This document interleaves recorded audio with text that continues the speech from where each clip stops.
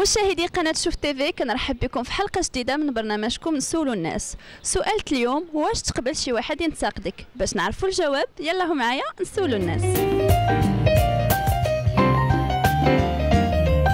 تقدر تقلق إلا كانت قاصحة parfois إلا كت كيبقى واحد لو dérangement لداخل ولكن ملي كتجلس مع راسك وكت stabiliser كتقول bien sûr يعني راه هذيك الحاجة ما قالها لي إلا راه كيبغيني.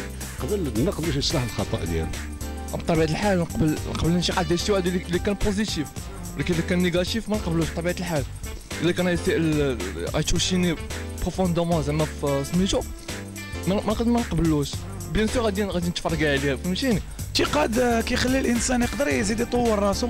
يعني إلا كانوا فيه شي عيوب كانوا فيه آه، شي مسائل خايبة يعني يقدر بنادم يزيد يطور راسو.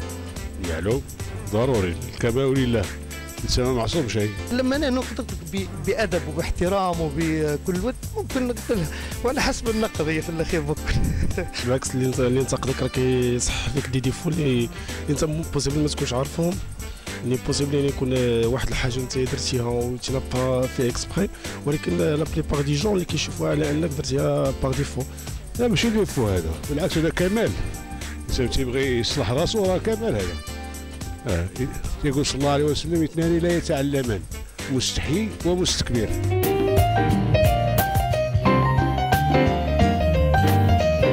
كانت اذا هذه هي آراء الشارع المغربي حول موضوع واش تقبل شي واحد ينتقدك نضربوا لكم موعد جديد في موضوع جديد من برنامجكم سولو الناس إلى اللقاء